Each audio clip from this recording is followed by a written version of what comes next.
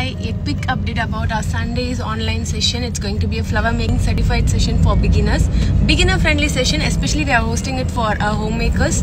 And uh, the session it, the fees is going to be 1999 uh, for all our summer workshop which is going to be hosted in uh, till June first week. So everything is going to be 1999. So utilize this session and you're going to learn everything regarding flower making. Veni, venis we are going to cover different venis, how to stitch, how to spray, how to change the color and reception uh, um, uh, no, flowers and spraying techniques everything will be covered. mala epdi pandrathu and how to attach uh, some accessories? How to create a reception uh, accessories with real flowers? So real flowers la ennalam panna mudiyumo ellame we are going to cover.